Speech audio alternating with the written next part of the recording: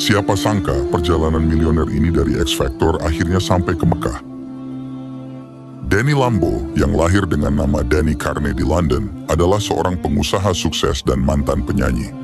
Dia dikenal sebagai playboy paling mewah di Inggris dan memiliki kekayaan yang diperkirakan lebih dari 50 juta pun sterling.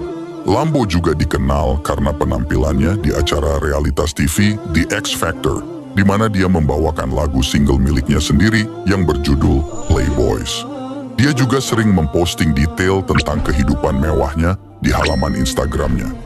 Namun, perjalanan spiritual baru-baru ini telah membawa perubahan besar dalam hidupnya. Dia memeluk agama Islam setelah bertemu dengan seorang bernama Abdul Basit selama perjalanan bisnis ke Arab Saudi.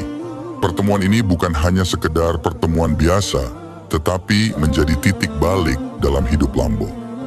Ia merasa terpanggil oleh pesan-pesan spiritual yang disampaikan oleh Abdul Basit dan mulai merenungkan tentang makna hidup yang sebenarnya. Perasaan ini akhirnya mendorongnya untuk memeluk Islam, sebuah keputusan yang mengubah hidupnya selamanya. Abdul Basit memainkan peran penting dalam transformasi Lambo dengan membimbingnya melalui kota suci Mekah dan mengajarkan ritual umrah, sebuah ziarah yang memiliki arti penting dalam Islam. Setelah konversinya, Lambo memulai perjalanan spiritual khusus yang disebut umrah di Makkah.